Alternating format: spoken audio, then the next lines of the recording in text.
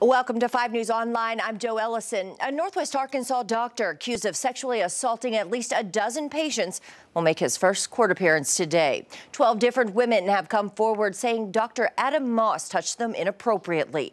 One woman reported he touched her breast without her consent during an exam. Moss's records show he has no history in giving women medical breast exams.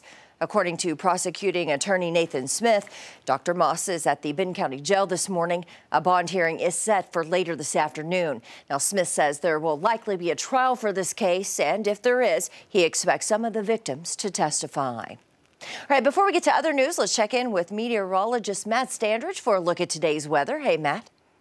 Hey, Joe, we have a really nice Thursday across northwest Arkansas and the River Valley. We've got more rain chances, though, coming up tomorrow. I want to show you some of those rain chances. This afternoon, I think we're good. There could be maybe one pop-up shower somewhere. 98% of us are going to be fine this evening. Uh, we're pretty much clear all the way through sunset. Now, overnight tonight, we'll be watching our next complex come back in from the west. By 3 o'clock in the morning, we should still be dry.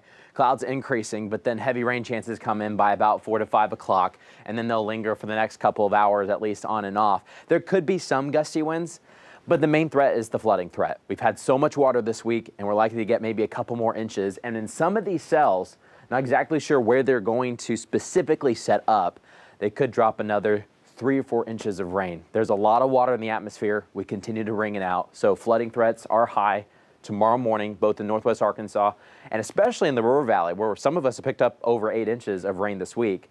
And then we continue to warm up into this weekend. We clear out this weekend. No rain in the forecast really for us. And then next week, we are just hot and dry. Walton family have officially agreed to buy the Denver Broncos football team. The buyers are led by Walmart heir Rob Walton, as well as his daughter and son-in-law. Terms of the deal were not disclosed, but the bid was reportedly for $4.65 billion. The deal still needs to be approved by the NFL, though.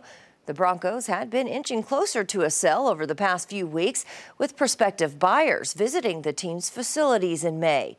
If the deal is approved by the league, it would mark the first time the Broncos will have new ownership since Pat Bowlen bought the team in 1984. Well, thank you for joining us here at 5 News Online. I'm Joe Ellison. Catch up with us again tomorrow. We'll have more news and weather. Have a great Thursday.